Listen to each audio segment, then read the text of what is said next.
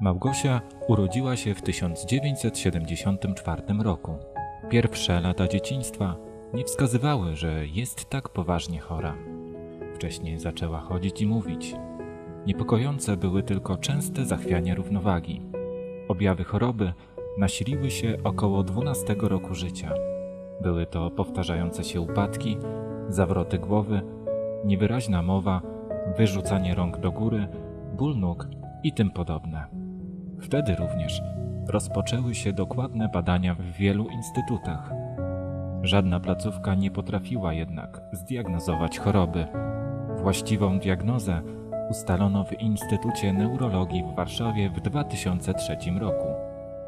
Małgosia cierpi na bardzo rzadką chorobę genetyczną o nazwie encefalopatia z odkładaniem się żelaza w mózgu, w skrócie NBIA.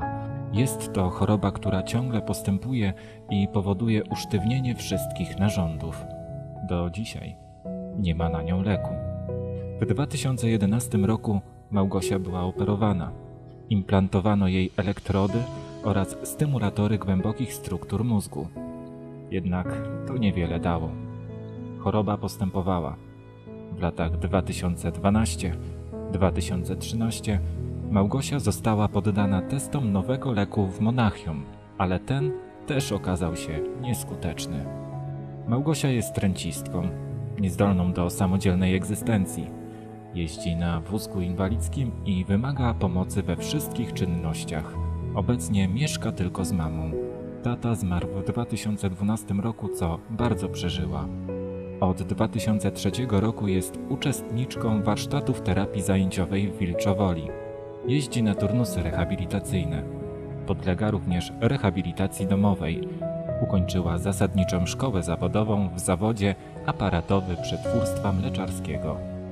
Jako nastolatka marzyła o domu z ogrodem, przy mężu, z pięciorgiem dzieci. Aktualnie jeździ na warsztaty terapii zajęciowej, nawiązuje kontakty przez internet, mimo to jest bardzo samotna. Czasami rozwiązuje krzyżówki.